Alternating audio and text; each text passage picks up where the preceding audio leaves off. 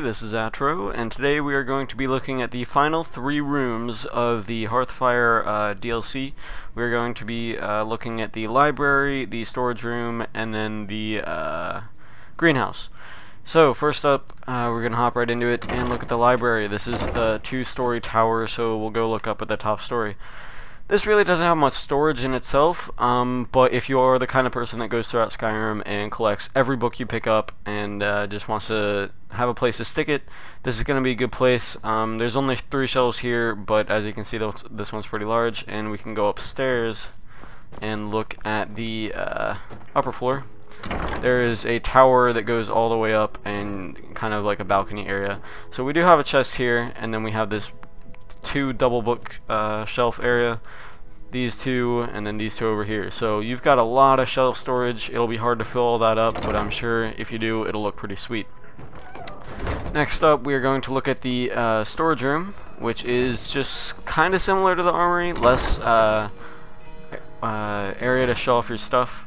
But um, if you want to go ahead and look around you basically just have a ton of chests. We have a safe here, some display cases with uh, satchels in them. Uh, but other than that, there's really like everywhere you look, there's a chest. So uh, that's really all the storage room is. It's nothing too exciting, but if you do like to organize your stuff and not just shove everything in a couple chests like I do, then this is probably going to be what you want alongside the armory, uh, or you can pick one or the other. Really just um, what you want to do. But that is the uh, storage room, and uh, now the greenhouse, this is actually one I'm really excited about because I find it extremely cool.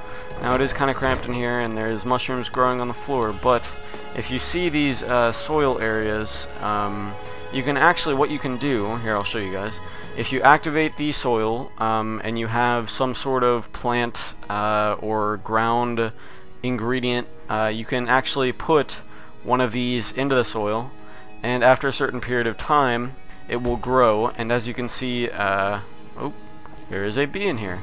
Didn't even know that would happen. But anyway, um, as you can see, I did plant mushrooms earlier, and I have grown a ton. So it's actually pretty cool because when you harvest, uh, you get five. And it says 5-2 up there because I have a perk that lets me get two um, uh, ingredients per picking, but that's just a text glitch. You don't get 10, you only get 5.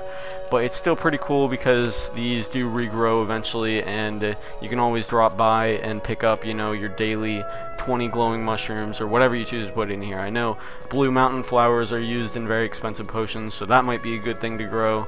Uh, so yeah, you can really go crazy with this. This is actually one of the more practical things that you can do with the house. But uh, it's really cool.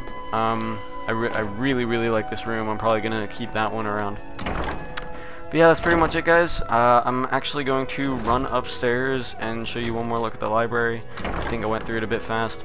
But as you can see, this is the first floor. And if we run upstairs,